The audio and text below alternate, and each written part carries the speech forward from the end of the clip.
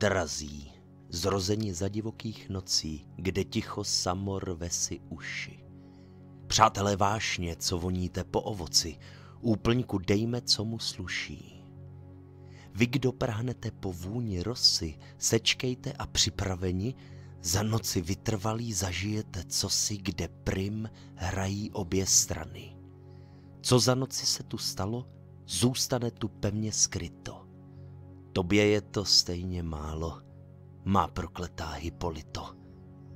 Tvé území je nedobyto.